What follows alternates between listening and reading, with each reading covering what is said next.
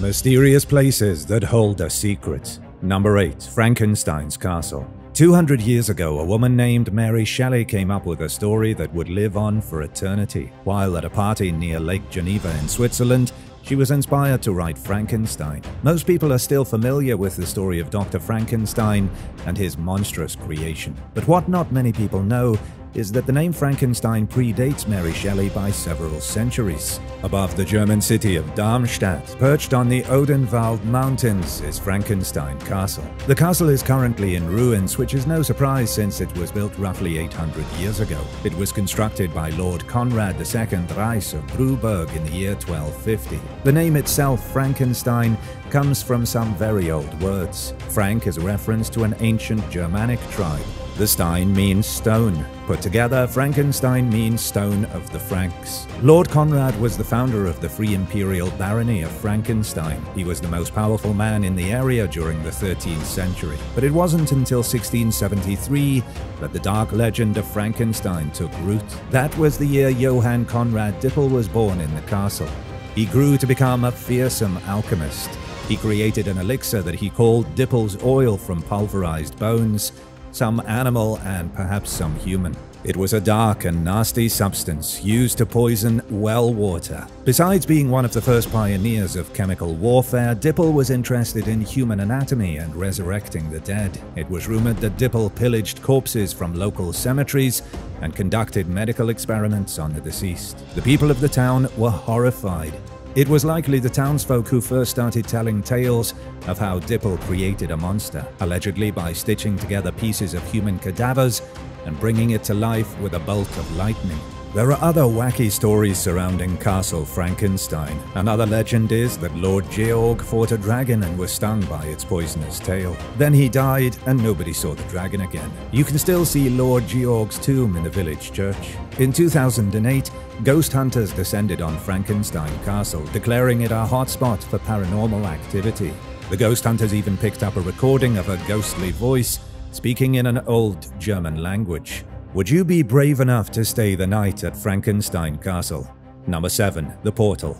In 1908, an expedition of scientists supposedly traveled into the deserts of Sudan searching for ancient treasure. There is no official record of the expedition taking place, though H.P. Lovecraft did mention a similar expedition in his paranormal writings. The expedition was supposedly lost in a sandstorm with their bodies never discovered. All attempts to find the scientists failed. Nobody was ever able to track down their position from when they vanished. There's a mysterious rumor that claims the scientists stumbled upon a secret portal, a doorway in the desert to another world. The 1908 expedition could be nothing but a myth, but portals to other dimensions, now that's more common than people realize. There are multiple stone gateways across the world that may have been used by the ancients to travel great distances. Researcher Freddie Silva says that throughout history human beings have lost their connection to the earth, but in antiquity, people recognized certain energetic fields and hotspots that emitted great power. Pagans recognized these places and built temples on them, so did people from other cultures, such as those of Lake Titicaca in Peru. Take for example the Puerta de Hayu Marca, or the Gate of the Gods. It is an enormous doorway near Lake Titicaca, 23 feet tall carved into a solid rock. The doorway doesn't appear to lead anywhere. It's a megalithic doorway that physically looks like a stone niche. Experts believe it rests on a ley line. They think the shamans at Lake Titicaca understood the power emitted by the ley line and used it to activate a portal carved into the stone. When Spanish conquistadors arrived, they heard the story of a priest named Amaru Maru. The priest supposedly used the portal of Hayu Marca to escape the Spanish. Then, with the destruction of the Inca Empire, the knowledge of how to operate the portal was lost forever. And now for number 6. But first, it's shout out time. I wanted to give a big thank you to Master Yoda 394 and Palm Glasser 9418 for supporting this channel. Be sure to subscribe if you haven't already for more videos about mysterious places. Number 6. Crossbones Cemetery. In South London, there is a disused burial ground called Crossbones. It closed in 1853 with its history still extremely muddled. Nobody knows for certain just when a graveyard first started being used, nor what its original purpose was. The first historical mention of Crossbones was in a report from 1598. John Stow mentioned a churchyard specifically used for the burials of single women not far from the clink. The clink might be a slang term for jail, but it was a real prison from the 12th century in London. According to John's report, the graveyard was used for single women who were forbidden the traditional rites of the church. These were women who lived sinful lives and were excluded from a proper Christian burial. Therefore, they were given their own despicable burial ground. No mention of the church was made again until 200 years later in 1795. It was called the Single Woman's Burying Ground, but by the time it was mentioned by antiquary William Taylor in 1833, its name had changed to Crossbones. It was believed to hold the corpses of an estimated 15,000 people, the reason it closed in 1853 was that the burial ground had become completely overburdened by the dead. Any additional bodies would have caused a public health emergency because there was nowhere to put them. In modern times, the corpses were removed and the site was used for warehousing and commercial buildings. There's nothing more to remember the dead, except a brass plaque installed by the City Council in 2006.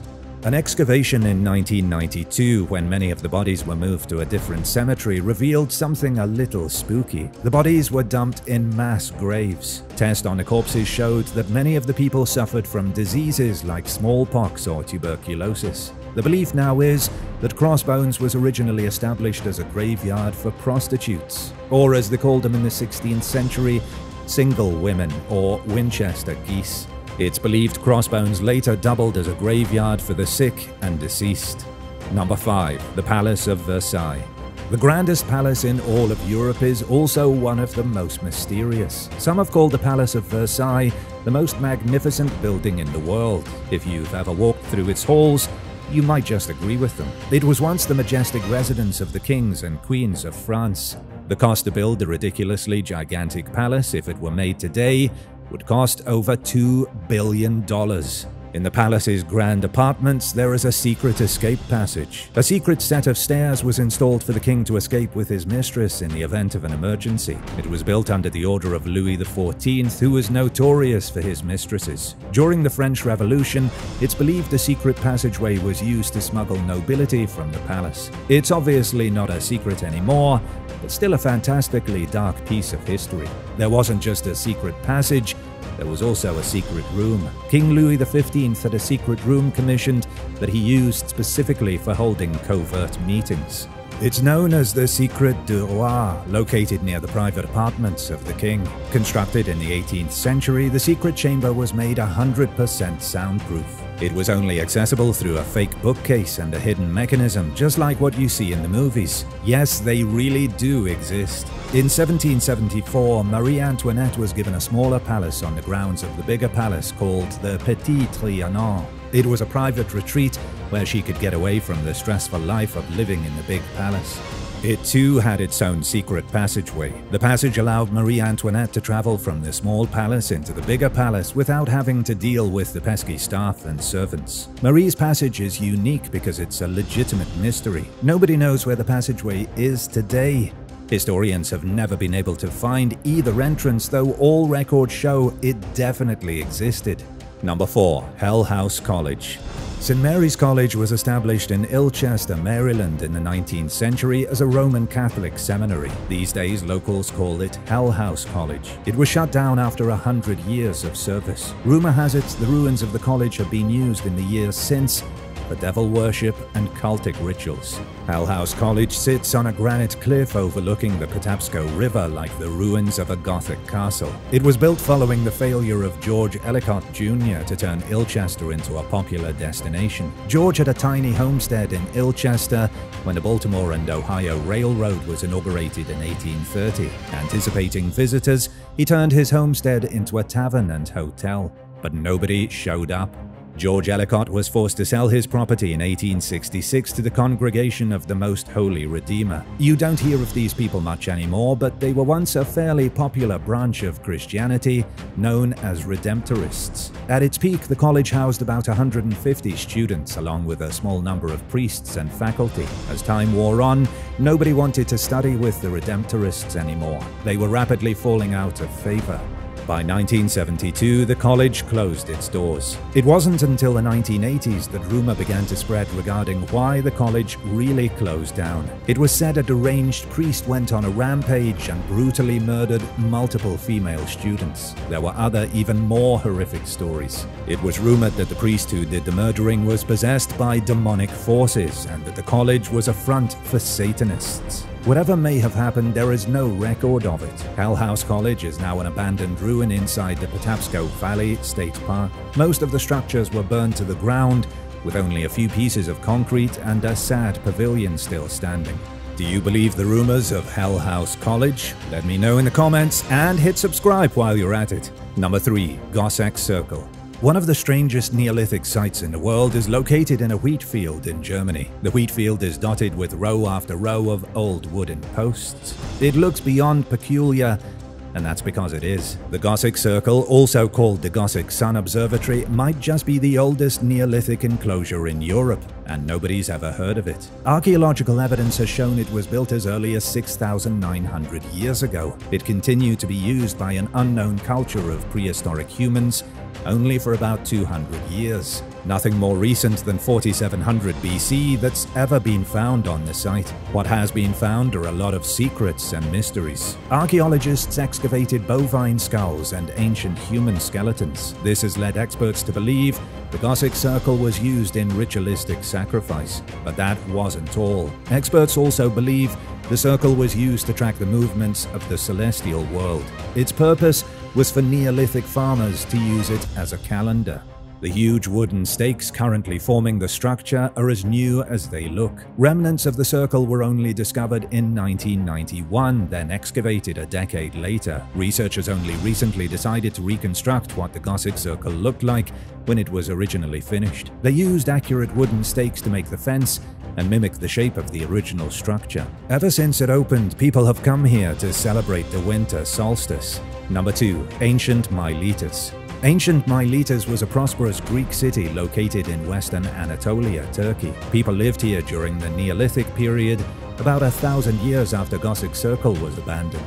By the time the Bronze Age rolled around, Miletus had become a powerful city, grown rich through maritime trade. They traded heavily with the Minoan civilization. They built majestic temples, impenetrable fortresses, and beautiful harbors. But then they got a bit too wealthy for their own good.